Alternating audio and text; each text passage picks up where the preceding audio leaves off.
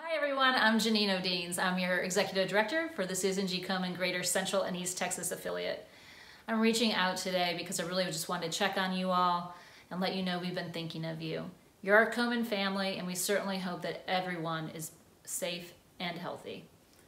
As difficult as this time has been for everyone, I fully trust that we're going to get through this together. We're going to have each other's back, and we're going to keep our promise to each other and to our community.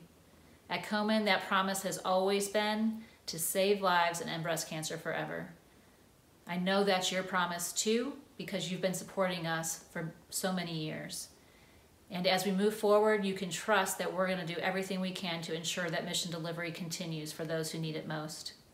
As we go into this next week, please reach out. Tell us what you're doing, what you're thinking about, what you need, what you want to hear or learn about. Check us out on Facebook. We'll be posting videos throughout the week and even some special live Facebook videos around 4 p.m. on select days.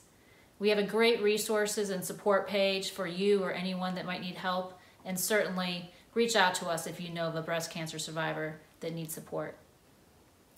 Please heed the instructions of our public health officials and keep you and your family safe. Be well, everyone, and have a great week.